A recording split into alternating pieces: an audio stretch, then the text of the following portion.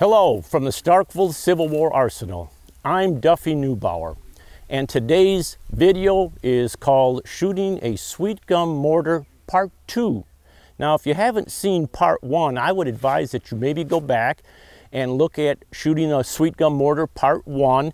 And in Part 1 we covered the ammunition, the fuse, we covered the construction of the mortar, and we fired a few rounds. In Sweet Gum Mortar Part 2, we are going to cover a little bit more on how the weapon itself was serviced, explain how each individual cannoneer, what his job was, and then we're going to talk about a siege operation. And a siege operation is different from a battle. A battle, two armies met on the battlefield for a day or two and then they separated. In a siege, it's a long, continuous operation uh, sometimes it lasted many, many, many days, sometimes into the weeks. And after we get done showing you how the siege operation goes, and when you're talking siege, you're talking continuous shooting. So that means you shot at day and night. And we're going to attempt to show you how to shoot at a target at night when you can't see it. Now, the siege of Vicksburg, many people think, and I agree also, that it was probably the most famous of the sieges of the American Civil War. It lasted 47 days, and when it was over, General Ulysses S. Grant thought so much of these little mortars that were involved in the siege of Vicksburg. Actually, the last two days ended with the use of these two mortars. And General Grant in his memoirs said, and I would like to read to you from his memoirs right now. There were no mortars with the besiegers, except what the Navy had in front of the city. But wooden ones were made by taking logs of the toughest wood that could be found, boring them out for six or 12 pounder shells, and binding them with strong iron bands. These answered as coehorns, and the shells were successfully thrown from them into the trenches of the enemy. Now that we've established that these mortars were used at Vicksburg, and I would like to explain why they were used. Uh, General Grant came to Vicksburg and he made two frontal assaults on the city, which failed both times.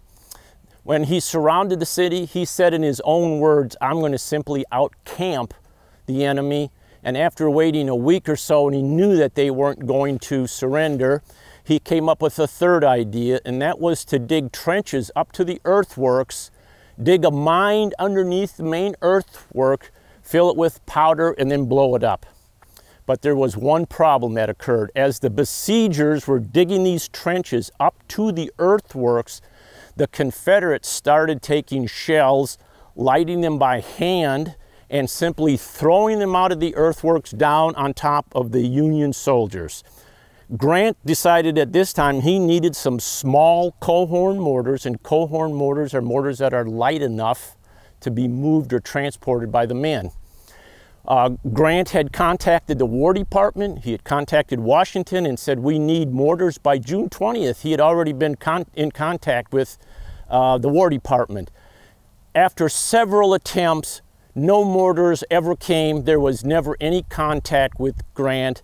And then one of the engineers at Vicksburg, his name was Stewart R. Tresilian, came to Grant and said, I can solve your problem. I will make mortars. So he made mortars. And after the mine explosion on July 1st, I'd like to read to you what uh, Stewart R. Tresilian's words were about the use of the mortars in Vicksburg. July 1, the second mine was exploded. Previous to this time, I had constructed three wooden mortars, one six pounder and two 12 pounders, and put them in position about 100 yards from the main redoubt. Immediately after the explosion, I commenced shelling the crater, dropping nearly every shell into its proper place.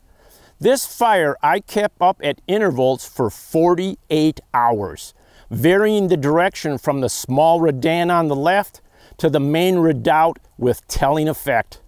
The enemy's engineer in charge of the works, Captain Kelly, assured me 21 men were killed and 72 wounded by these shells.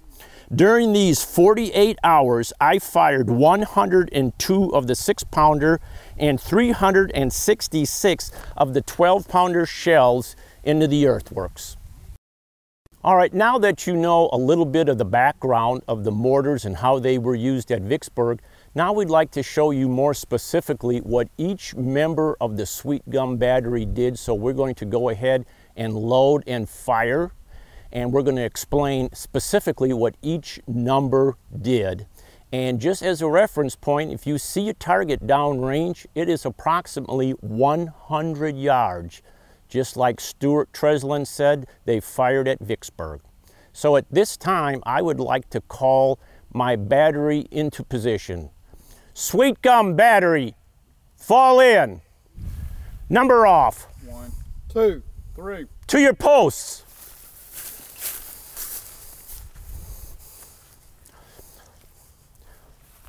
Load with five second fuse. At this point, the gunner is waiting for the ammunition to be brought towards the muzzle. He will bring me the powder charge and the projectile, which has already been fused. When the number two man uh, approaches the gunner, the gunner will reach in, get the powder. All right, at this time, I have dumped the powder into the chamber. And during a normal siege operation, if you had siege mortars, you would have a, a wad which the projectile could sit on. And at this time, we're going to uh, place the round on our grommet.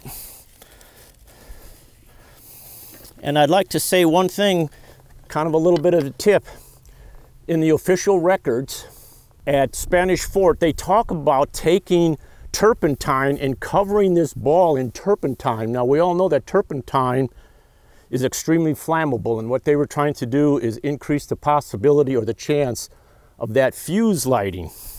There's also another very uh, common technique, and that was to take very fine powder. Uh, they would go over and get it from uh, pistol ammunition, and they would take the very fine powder and just sprinkle some all the way around the fuse to ensure that it ignited. And when you put the ball in the barrel, you want to make sure that the fuse is pointing directly up because there's more flame going to come over the top to ignite uh, that fuse. Ready.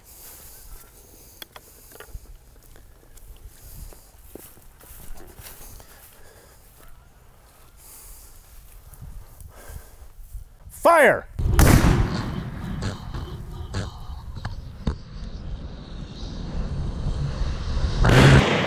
Sometimes it was necessary with the mortar as you have carbon buildup in there, they would use a scraper.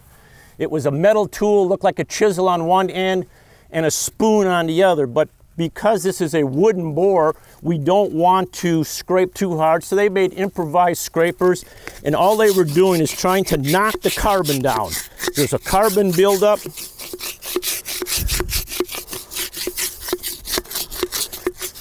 And you probably noticed that before I did my scraping, the number one man went up into the vent and he pushed all the debris that might be in the vent into the chamber.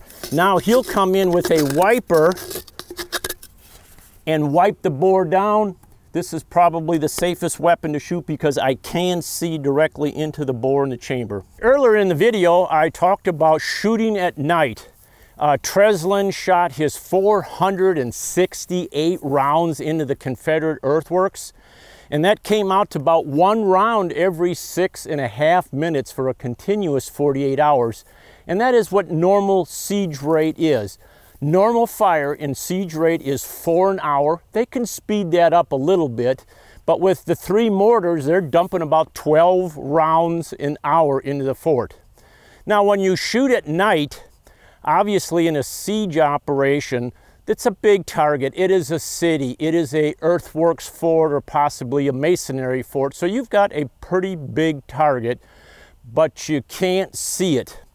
They may make a mistake and leave some lights on, a campfire, I doubt it, or a lantern, but we're gonna assume right now that it's total darkness. So all we do to get ready for night firing is simply aim the mortar just like we did during the day, and that's what we're going to do right now. Muzzle right, Good. We've just determined our line, but what we're going to do now is we don't want to try and retard the recoil at all, but I do want to put a reference and notice that I'm putting this in front of the tenons. I don't want it back because there might be some recoil.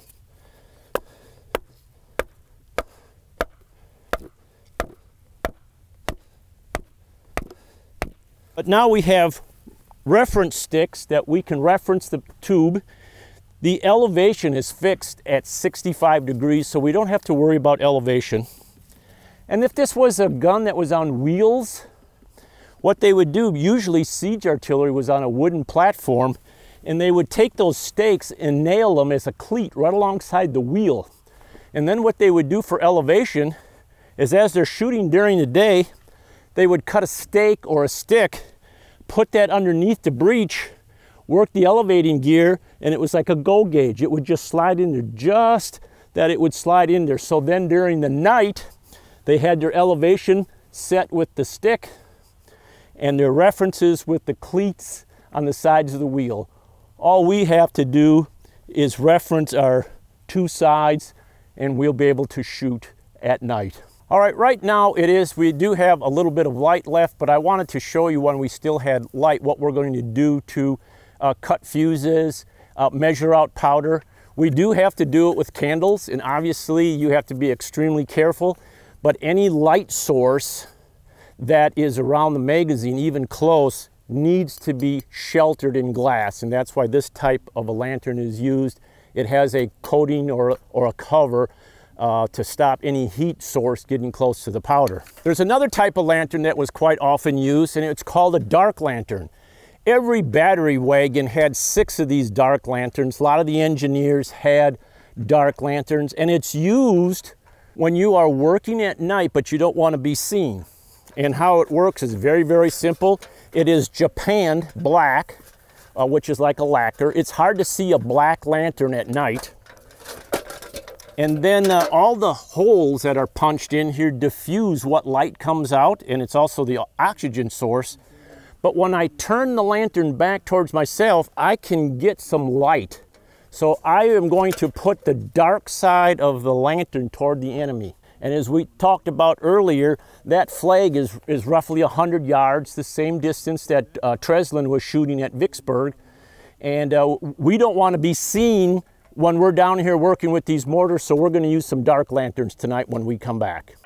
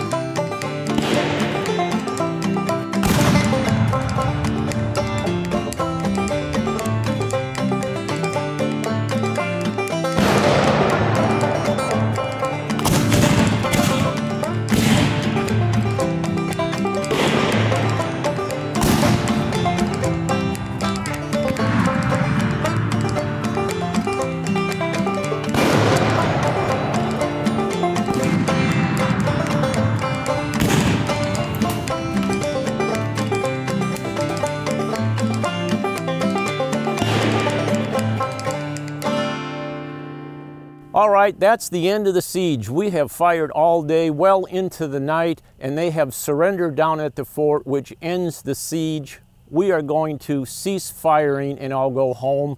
I hope you enjoyed the video. It's a little bit unusual firing at night, but it is unique.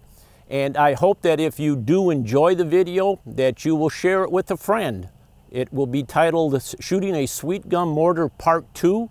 And I hope sometime you have the opportunity to take a look at my website, StarkvilleCivilWarArsenal.com. Thank you, and I hope to see you again sometime at another video. Good night.